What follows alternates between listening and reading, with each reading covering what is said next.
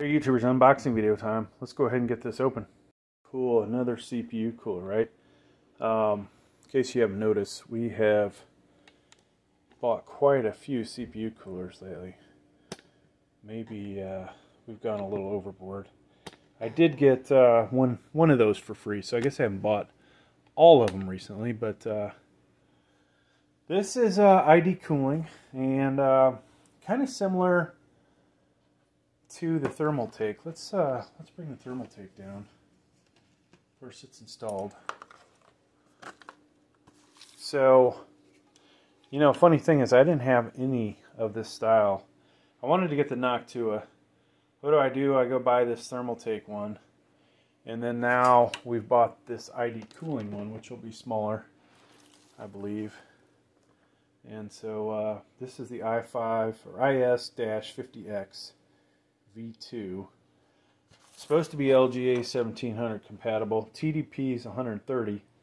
The one I just showed you, I believe, was uh, 140 watts.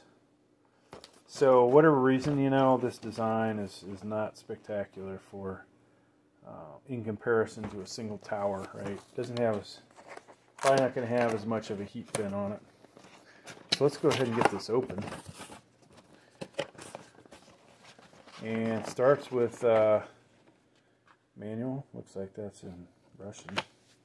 Uh, installation guide IS series. And if you've seen the channel you know I have bought quite a few ID cooling CPU coolers. So there are the parts. There is what it's compatible with and you see um, probably one of those brackets sets of brackets is LGA 1700 uh, number three is LGA. So they show you how to install. Let me shut the light off for a second, folks.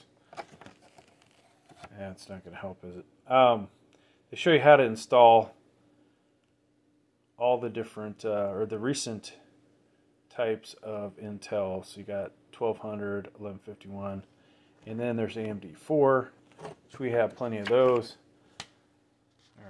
Lights back on. So, box of parts. Let's go ahead and open these up. I think what we'll see, I believe this is Chinese made.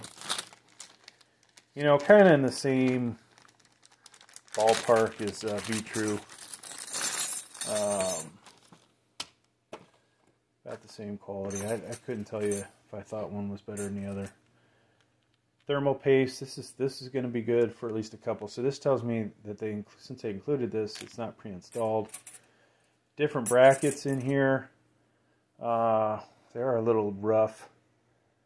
They could have did a better job of uh, cleaning those up. But uh, you know, just looking at it, it's kind of looks like crap to be honest with you. Um, usually, you know, it's nice to have nice and polished and all that good stuff. These are, uh, don't quite look as finished as what I usually get from these guys. But yeah, you have the, the different brackets that you'll need for LGA 1700, 1200, 1151, and then all of the hardware. So I'm going to put this stuff back in here. Um, now, I was going to try and install this in the Z690. We, uh, unfortunately, won't be seeing the Z690 anymore on the channel. I won't go into details why that is, but uh, it's not going to be on the channel anymore. So, I don't know where we're going to put this, folks. I've got a lot of CPU coolers, but not a lot of CPUs, or not a lot of 12 gen CPUs anymore, so go figure. Kind of, actually, uh, to be honest with you, we're waiting for 13th gen, and then, uh, you know, new AMD. So I'm actually kind of getting rid of a few things to prepare for that because that's going to be an expensive transition for me uh, to go there. All right, so this is going to be easy to install, I believe. You probably have to go through the fan blades, I'm sure, to get to whatever brackets. Of course, you'll take this piece of tape off here. Uh, you probably want to clean it after you take it off because these have a sticky residue. Not a lot of not much of a heat sink here, so I can see why the TDP for this is less than the Thermaltake. Um, now the fins are a lot closer than the Thermaltake. If we were to check out the Thermaltake again, you see that. And then these are much denser, right? Well, whether that's such a good thing or not, um, you know, is another story. So could potentially be about the same surface area. Now, the fan blade, you see how that is, right? If we look at it from this angle.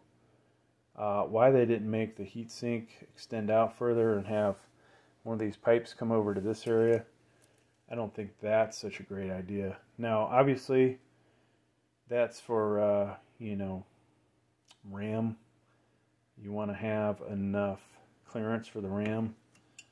Uh, I wish I had a motherboard that had some RAM sitting in it, but uh, we look at this this design here, right? So see where the RAM is, and then you can tell that that's gonna be right above the RAM, just in basically in that spot. Um, so does this thing pop off? Good question. This one actually, folks, looks like it's pretty much stuck to it. Let's see how it, okay, so four screws here, it would appear that you could, uh, actually two, okay. So there's a bracket that attaches the fan in four places. So that would detach your fan. Now, could you put a bigger fan in there, I wonder? Um, maybe a better fan? I don't. Sadly, I have a mechanical engineering degree and we took uh, fluid mechanics, some classes that had uh, airflow. I don't remember ever coming up with a, a class where we talked about the thickness of the fan blade or the, the fan itself, right? So you see the difference there. Would it be better to replace this 120 millimeter fan with one that's thicker and has bigger blades? Uh, that is a darn good question, right? Obviously, uh, whichever one pushes more air is the uh, going to be the better one. And potentially, if you found a better fan that would fit on this, that may be uh, may work out better, right? Now, the way this is designed, though, of course, you see the way the fan the fan is here. Um, most of the time when it's designed like this, you've got the intake side exhausting air across the, the heatsink.